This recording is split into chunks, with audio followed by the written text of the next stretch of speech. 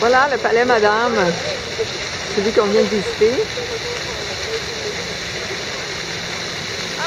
Il rejoignait le palazzo euh, royal de l'autre côté.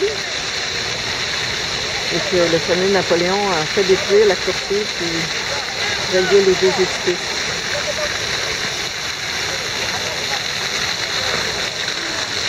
Très très large place. On est à Turin.